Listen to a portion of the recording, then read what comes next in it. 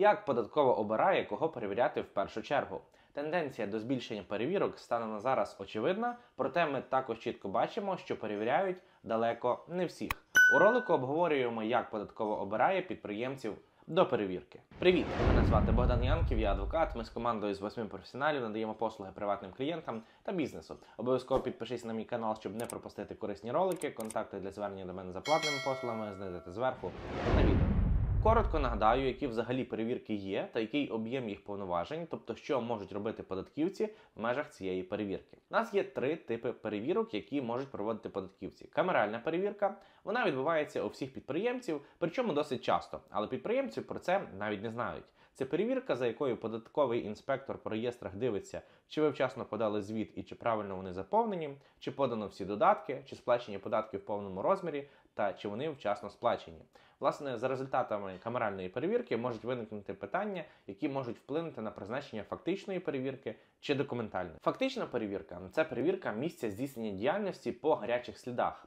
Тобто перевіряють, чи ви даєте фіскальні чеки, чи правильно їх формуєте, чи маєте термінал на оплату картою, чи є оформлені на роботу наймані працівники, чи ведеться облік товарів для ризикової групи товару, або, наприклад, чи є ліцензія на торгівлю алкоголем. Ключова характеристика цієї перевірки вона проходить без попередження, але кількість питань, які на неї виносяться, досить обмежені, та зазвичай вони зведені до операційного дня. Ну і документальна перевірка це найбільш радикальний спосіб перевірки, про який попереджають за 10 днів до її початку, і тут фактично можуть перевіряти повністю всю вашу діяльність в межах строку позовної давності, тобто мінімум 3 роки, а також можуть додати паузу строку карантину та воєнного стану. Давайте коротко резюмуємо. Камеральна перевірка відбувається у всіх періодично, і більшість про це навіть не знає. Фактична перевірка більш притаманна продавцям товарів і періодично раз в декілька років може траплятися. А документальна перевірка це великі масштабні заходи, на яких перевіряють всю діяльність підприємців за декілька років. До речі, якщо говорити про документальні перевірки ФОПів, то їх відбувається досить небагато. Біля тисячі таких перевірок проходять щороку. Враховуючи, що в Україні біля 2 мільйонів зареєстрованих ФОПів, можна чітко побачити, що шанс попасти саме на документальну перевірку насправді вкрай низький. Податкові перевірки часто призначають на підставі аналізу всіх реєстрів, які доступні податковій. Податково переглядає подані звіти 4DF, в якому вказують ваші доходи контрагенти, які платили. Податківці також дивляться дані по продажах по касовому апараті, і якщо ви вибиваєтесь серед аналогічних підприємців, то вами можуть зацікавитись. Також податково реагує на масові скарги, тобто, якщо податково пишуть листи або скаржаться у бот на якогось підприємця, і таких скарг надійде декілька, може бути перевірка.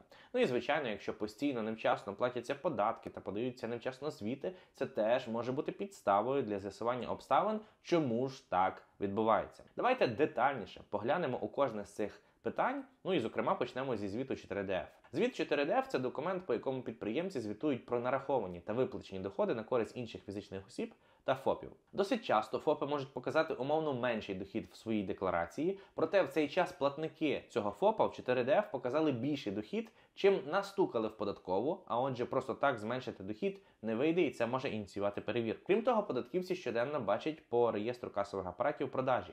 Якщо у вас є каса, то податківці розуміють, які товари ви продаєте, який у вас оборот, який відсоток повернень, і ці дані порівнюють з аналогічними підприємцями у вашому регіоні. І якщо у вас показники повернення, наприклад, значно вищі, податківці можуть думати, що ви хочете заменшити оборот доходу, а отже, ініціюють перевірку. До речі, дані по реєстрах податківців можуть об'єднувати, тобто подивитися дані по доходах в 4DF, по касовому апарату і зробити висновок, наприклад, про перевищення лімітів обороту. Також хочу вам нагадати, що податковою затверджені критерії, які можуть вказувати на ризиковість бізнесу, а отже, його можуть більше перевіряти, і серед критеріїв є наступні: суми за повернення товарів становлять понад 5% сум від вартості реалізації товарів через касовий апарат. Невідповідність суми сплати акцизу з роздрібного продажу підакцизних товарів через суми, проведені по касі.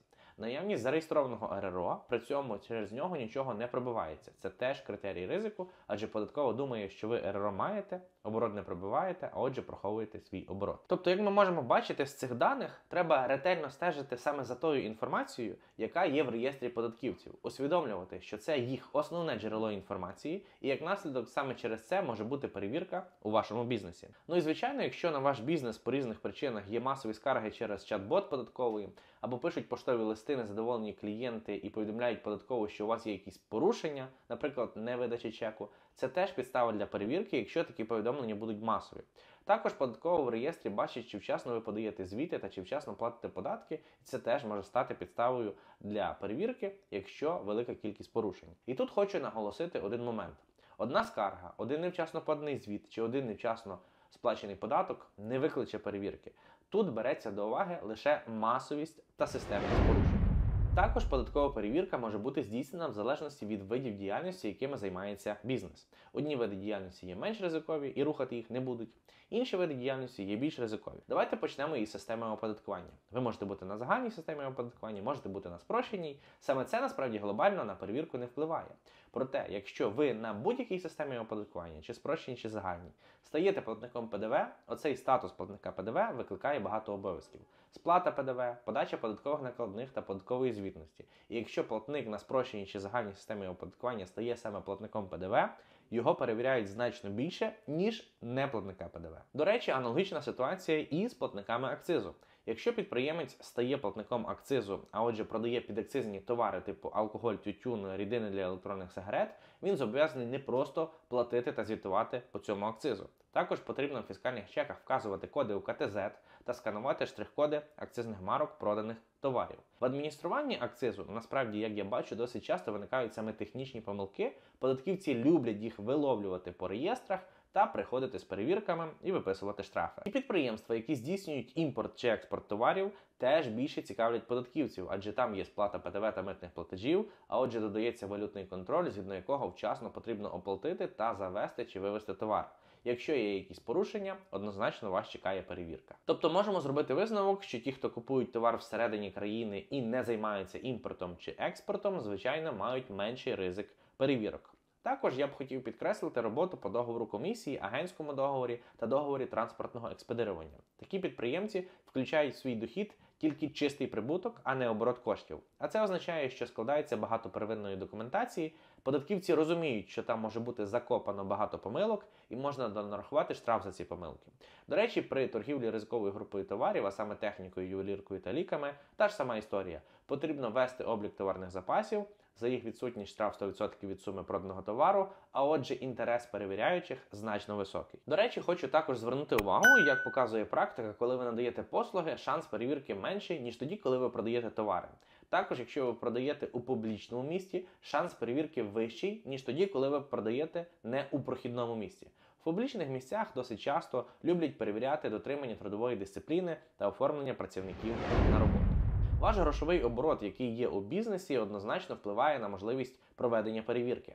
Проте це не означає, що ФОП, у якого 5 мільйонів обороту, перевірять, а той, у якого 1 мільйон обороту, не перевірять. Це не зовсім так працює. В цілому ми можемо розділити підприємців на тих, в кого до 24,5 мільйони обороту і більше, і підприємців, які мають менший оборот.